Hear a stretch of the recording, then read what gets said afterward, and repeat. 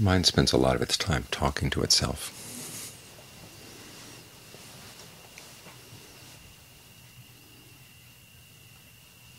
And so when we come to the practice, it's important that we learn how to use that habit in a skillful way, so it actually helps the practice.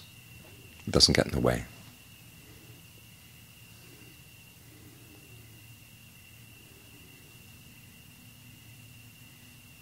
And if you read any of the texts, you know that when the mind gets into deep concentration, the sentences and dialogues that go in the mind get pared down really far to the point where there's just a mental note, like infinite space, the sanya of infinite consciousness. That's all the talking that's going on in the mind.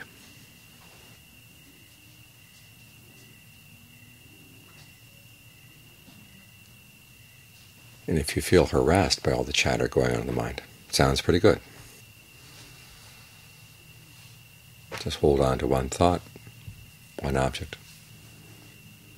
You can get away from all the, the torment of what's being said inside the mind. But you can't get there until you've learned how to train the mind how to talk to itself. What sorts of things are important to talk about, what sort of things are not, what attitude to take.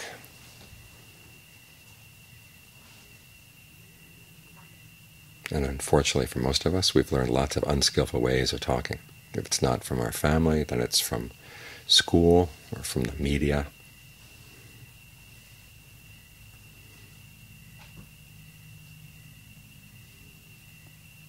We talk about all the wrong topics, or if we talk about ways that actually discourage us from practicing, either specific ideas about ourselves or attitudes in general one of the most virulent attitudes around is that the only way you're going to find happiness is through sensual indulgence. You can cite Freud, you can cite all these other psychotherapists as authorities, but then again, what kind of authority are they? It just so happens that their opinions fit in with the needs of the economy, and so those thoughts get pounded into our heads again and again and again their idea of what's important to talk about.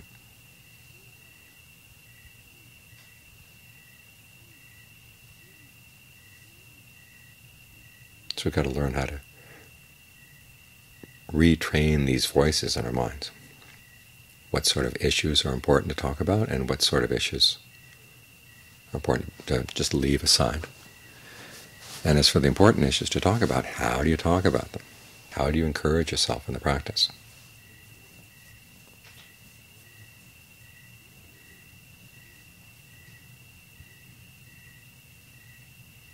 the Buddha recommends ten topics for recollection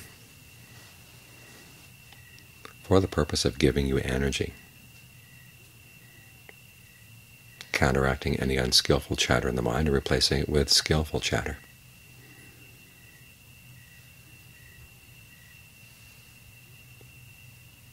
You can recollect the Buddha to remind yourself that it is possible to find true happiness through human effort. Because after all, when the Buddha talked about his awakening, he didn't say it was because he was some special being beamed down from the sky. He simply developed qualities of the mind that all of us have in potential form. So that raises our sights as to what we can do with our lives.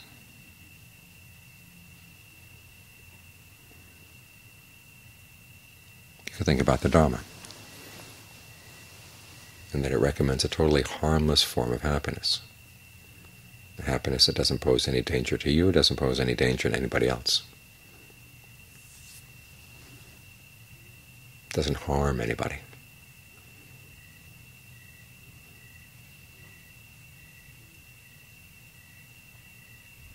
This is why they recommend that when monks are in the forest and they start getting scared about the dangers in the forest, the animals, the people who might be lurking in the wilderness, the diseases that can come, the fact that you're far away from doctors, anything of any comfort, You simply remind yourself you're there in a totally harmless way. And that can give you confidence. You recollect the Sangha. If comparing yourself to the Buddha seems like a far stretch, you can think, well, there were people who studied with the Buddha who were really like us. In some cases, a lot worse off than we are right now. And yet they were able to pull themselves together, gain awakening.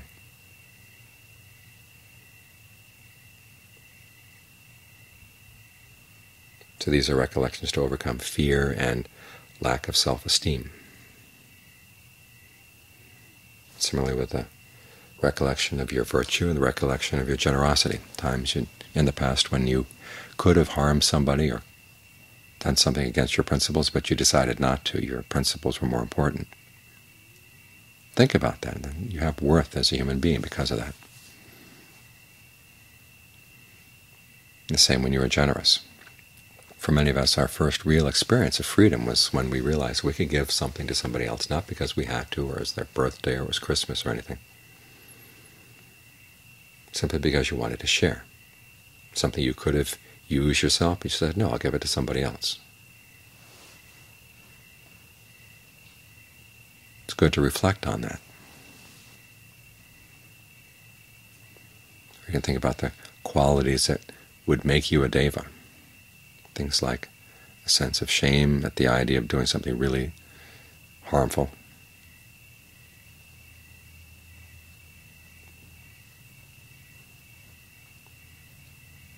Other good qualities of the mind. You have those to, at least to some extent, so reflect on that. Again, these reflections are meant to give you a sense of self-confidence, self-esteem, to remind you that even though you may have done a lot of unskillful things in the past, you do have your unskillful potentials. And it's up to you to decide which past actions are the important actions in your life story. We mentioned this a little bit this morning, that we all have a mixed bag in the past. You can think about this as if someone were writing your life story.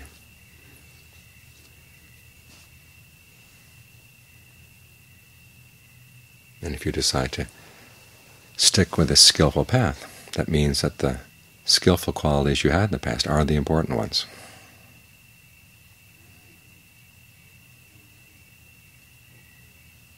If you stray away from the skillful path, that means the unskillful qualities, the unskillful things you did in the past are the important ones. So as you shape the present, you're not only shaping the present, but also highlighting different things in your past. So why not highlight the good things? Or if you start focusing on the bad ones, you say, well, at least I had some good qualities in the past, and those are the ones that eventually won out. At least they're winning out right now. And if there's part of your mind that says, well, they may win out right now, but they're going to lose out further down the line, you say, I don't care about further down the line. I want to make sure that at least right now I make the right choice. So at least there's a little uptick in the general line of your life.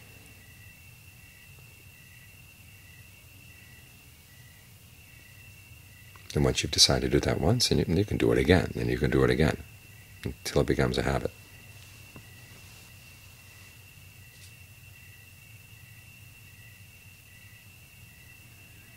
Then there are the reflections to make sure that you don't be heedless or complacent. There's recollection of death, the fact that it could come at any time, and that you've got to prepare, because death isn't the end. As long as there's craving in the mind, it jumps on to another life. The image the Buddha gave is of a fire that is burning one house, and then it jumps across to another house, burns the next house, and then the next. so what kind of house are you going to? The image kind of breaks down here, but the craving is what pulls you on. What kind of cravings are you nurturing in your mind right now? What cravings would be more skillful to nurture? What habits do you want to take with you as you go on? You realize there's work to be done in the mind. You can't just put it off to tomorrow or the next day or next week or next month or next year. Because you don't know if you have a next day or a next month or a next year. But you do know that you have right now, this breath coming in right now.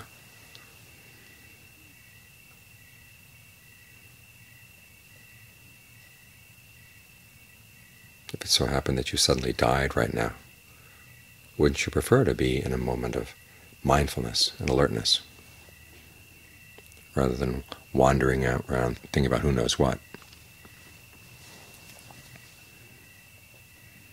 So that's a recollection to make you more heedful, to help overcome laziness.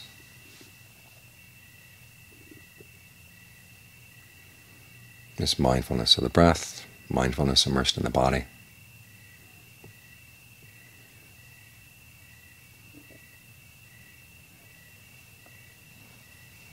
Mindfulness immersed in the body is to help you remember, do you want to become back, do you want to be coming back as a human being, or would you rather come back as something better? And there's always that issue at death when people are really possessive of their bodies. And then you come back and just kind of be a spirit hovering around a dead body. Would you like to do that? This body may seem okay while it's alive, but when it's dead, it's really not that attractive a place to be. Can you learn how to develop a sense of detachment from your own body? So you're not afraid to let it go when you have to.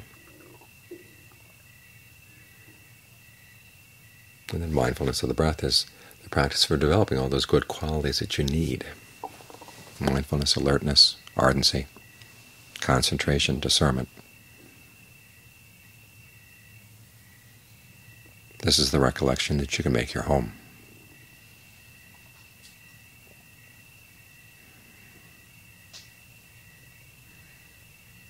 And finally, this recollection of peace. Actually, the peace of nirvana, reminding yourself that this is really the direction you want to go in, if possible. That there is an attainment of true happiness. And it's in that direction where true happiness lies. So you don't get distracted by other other ideas about happiness.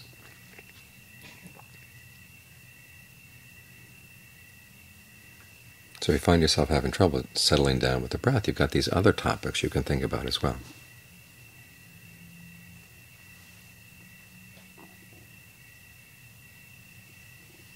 They should always be there in the background so that you can draw on them when you need them. As long as the mind needs to think, have it think about something that's really useful. As long as it's going to talk to itself, make sure the conversation is actually a skillful conversation. you know, spend all your time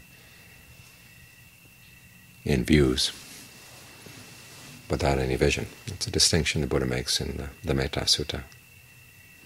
It's not taken with views, but consummate in vision. We spend most of our time talking about, I think this about that, I think that about this, this is my opinion on politics, this is my opinion on the Michael Jackson feeding fest and the media, I mean, whatever. But does it really matter?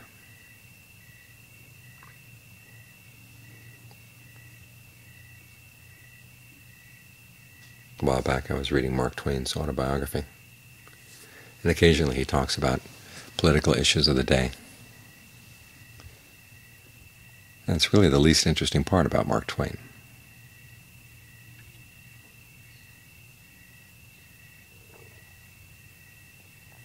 His more interesting opinions are the ones about sort of the universals of human nature.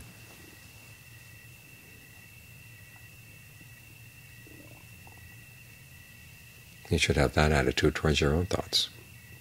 Your really interesting thoughts are about the more universal things. Particularly, this issue of vision means that you actually see what the mind is doing, see how it's creating suffering for itself. This may not be a topic that you can talk about with other people, but at least it doesn't lead to controversy.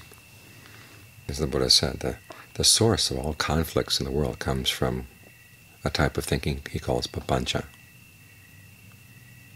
mental proliferation, where thoughts just get out of control to the point where they come back and attack you, i.e. they put you into difficulties, they create trouble for you. And these thoughts come from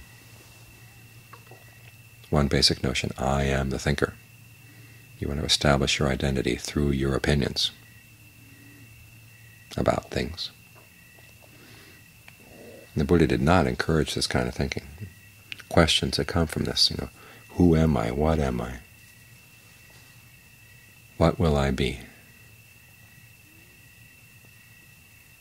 That, he said, is kind of questioning that's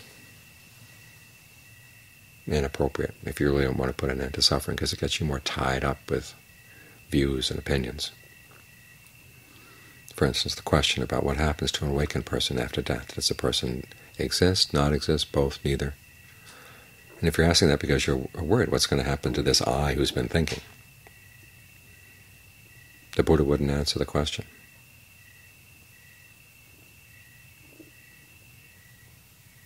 He didn't want to encourage that kind of thinking. He wanted to encourage the type of thinking that looks at, is there suffering here right now? What am I doing that's causing the suffering? What can I do to put an end to it? It's interesting to reflect that here we are learning about ourselves through meditation. But you ask yourself, what kind of self-knowledge is this? The question, who am I, what am I, what was I in the past, what am I going to be in the future? Those questions the Buddha said to put aside.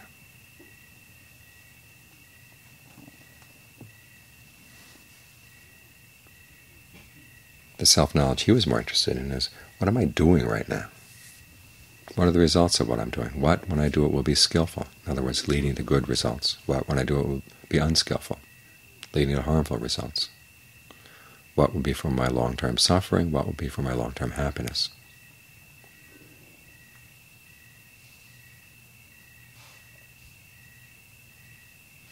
Those kind of questions are worth asking. In other words, seeing yourself as having the power to create long-term happiness. And then ask yourself, how can I develop that potential? But also seeing that you have the potential of creating a lot of harm and suffering. How can you avoid that potential? That kind of self-knowledge, that's vision. And that's really useful.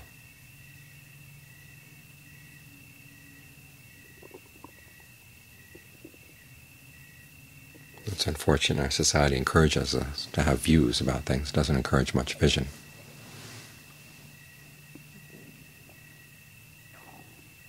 But you can train yourself.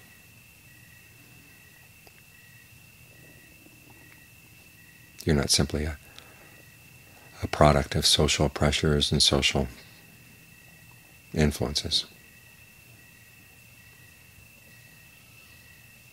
Because there's something that really is totally yours, which is suffering. No one else can experience your suffering. Nobody else knows how much you suffer or how you suffer. That's something you can know.